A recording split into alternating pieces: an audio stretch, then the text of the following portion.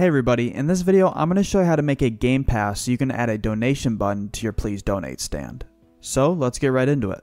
So the first thing you're going to need to do to create a Roblox game pass is go to the website create.roblox.com. It's going to look something like this. I'm sorry, actually I'm wrong. Not everyone's going to be taken to this page.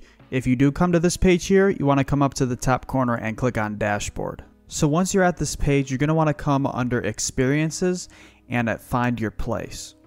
Everyone who has a Roblox account has their own place. It's going to say your username and then place afterwards. So once you find your place, you just want to go ahead and click on it. And then on the side here, you want to click on associated items. And then you want to click on passes. And now to go ahead and create our game pass, we'll just click on create a pass. So what we're actually doing by creating this game pass is making one of those green buttons that you can put on your stand. So what you're going to want to do is first give your pass an image if you want to. It says right here that uploading an image is optional. But if you do decide to upload an image, you want to make sure that it's in one of these formats here. And you want to also make sure that it is appropriate because Roblox does moderate what you put your image as.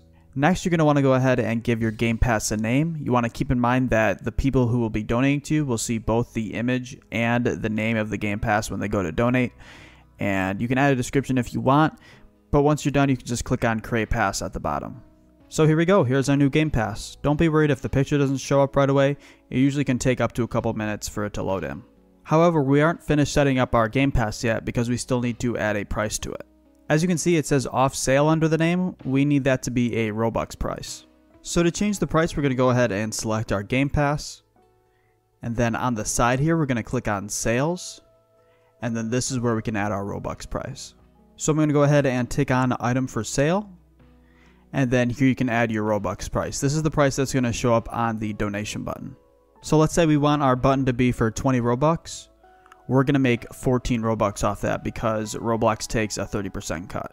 So once you got it set at the price you want, just go ahead and click on Save Changes. Alright, so that was all you need to do to create your Game Pass. So now if I go up to the stand here and press on E, you're going to see this brand new donation button. If this video ended up helping you, a like and subscribe would be greatly appreciated.